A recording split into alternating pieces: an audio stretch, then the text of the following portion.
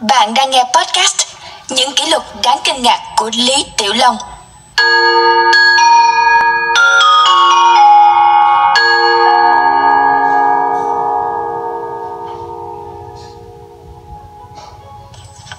Lý Tiểu Long, huyền thoại võ thuật điện ảnh sinh ra ở San Francisco, California vào năm 1940.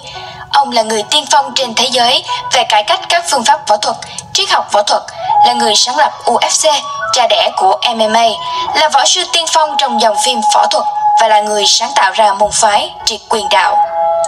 Ông là diễn viên Trung Quốc đầu tiên ở Hollywood. Các bộ phim của ông như Mãnh Long Quá Giang đã phá vỡ kỷ lục phòng vé châu Á và bộ phim Long Hổ tranh đấu hợp tác với Hollywood đã đạt doanh thu tổng cộng 230 triệu đô la Mỹ. Ngoài những thành tựu trong võ thuật và điện ảnh, Lý Tiểu Long còn ghi tên mình vào danh sách kỷ lục Guinness. Sau đây là 9 chiến tích mà ít người biết đến về Lý Tiểu Long. 1. Đá rơi một bao cát nặng 45 kg với một cú đá từ bên hông. Với thể lực của người bình thường, việc đá cú đá trực diện với số cân nặng 45 kg đã là một thử thách lớn. Vậy nên, khi Lý Tiểu Long thực hiện được cú đá khó hơn với cân nặng lên đến 45 kg, quả thực là một điều đáng nể phục. 2. Dùng côn nhị khúc đánh một lực mạnh tới 1.600 pounds, khoảng 725 kg. Và côn nhị khúc cũng được Lý Tiểu Long lần đầu tiên đưa lên màn ảnh trong bộ phim Mảnh Long Quá Giang. 3. Lý Tiểu Long có thể tung ra 9 phát đấm trong vòng 1 giây. Tốc độ của Lý Tiểu Long quả thật là đáng ngưỡng mộ. Bất cứ ai đã từng xem phim của Lý Tiểu Long đều có thể cảm nhận được tốc độ bá đạo của ông.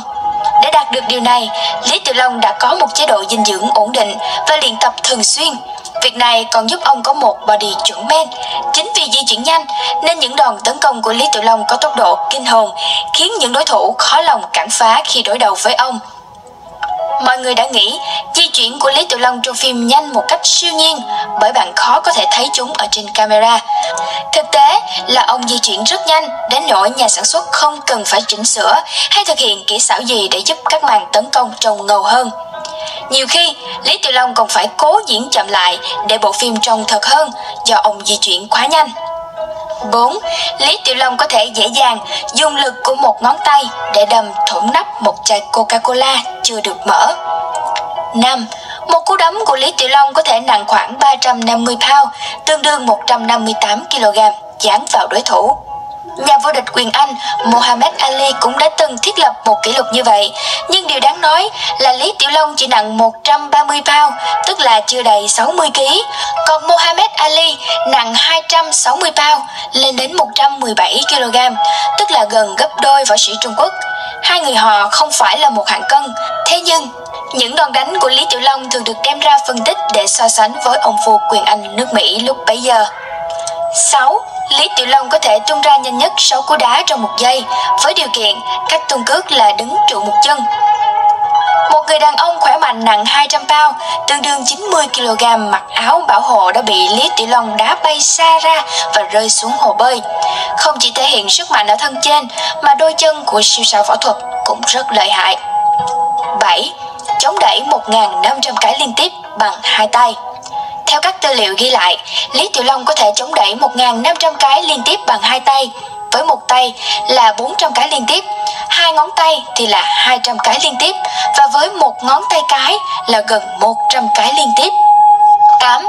Đá một bao cát nặng 135 kg lên nóc nhà.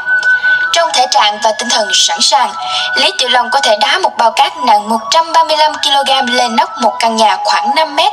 Ngoài ra, còn một số điều mà chúng ta ít biết về Lý Tiểu Long, như khi khỏe mạnh hoàn toàn, ông có thể hít xà đơn 50 lần với một tay.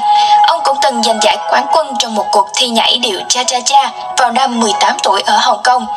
Điều này cũng không có hiểu khi Lý Tiểu Long đã từng đi học nhảy từ năm 14 tuổi. Và đó là chính kỷ lục của Lý Tiểu Long trong những năm tháng tuyệt vời của mình trong sự nghiệp. Cảm ơn bạn đã lắng nghe podcast về Lý Tiểu Long tại Voice.